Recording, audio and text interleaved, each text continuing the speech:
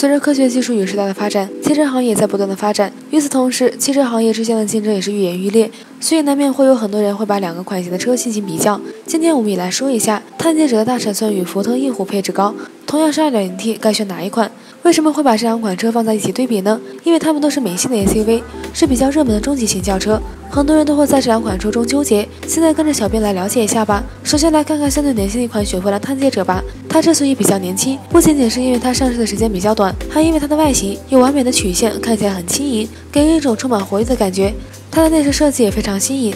前段时间，相比于福特翼虎，探界者的内饰要更胜一筹。在动力系统上，探界者有更年轻的设计，它的最大功率可达二百六十，而福特翼虎比它低了十五马力。小编觉得这两款车的马力差距并不大，在生活中也不会有什么太大的影响。